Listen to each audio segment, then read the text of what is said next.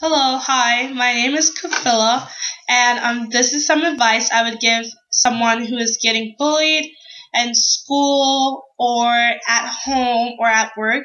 I would first tell them to stay strong and find a support system, find someone that you can express your feelings to and talk to about being bullied because being bullied is a serious issue and it has an effect on you mentally and emotionally and it really hurts to be bullied. So I would definitely tell you find someone that you can express your feelings to about being bullied who may even help you fight against the bully. I would also tell you that to be courageous and talk back against your bully. And if your bully is bigger in size or you're scared, then stay even stronger and do even better and show your bully that their words have no effect on you. Because when you show them that they have no effect on you and you're stronger than your bully will ever try to tear you down, then that is the best feeling ever. Because once they see that they no longer have an effect on you they there's no there's no purpose for bullying you.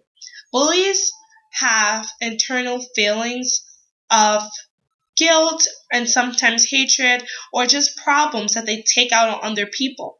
And sometimes they take it out on individuals like you and it doesn't justify just because they have problems that they can be a bully. So the best way to stand up against a bully is to fight against bullies. Or if you see someone else who's being bullied, take a stand for them. Make sure that they're not bullied while you stand by. Because if you're not saying or doing anything to stop the bullying, then you are partaking in the bullying. And that is a horrible, horrible thing to do.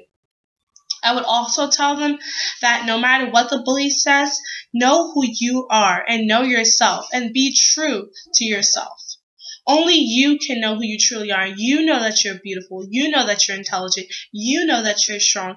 You know that you're courageous. You know that you're creative.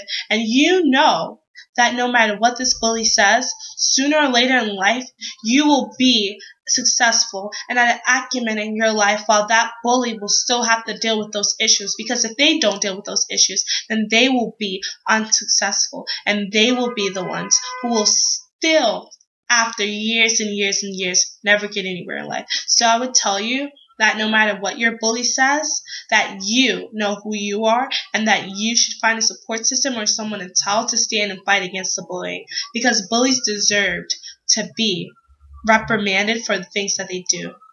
Thank you.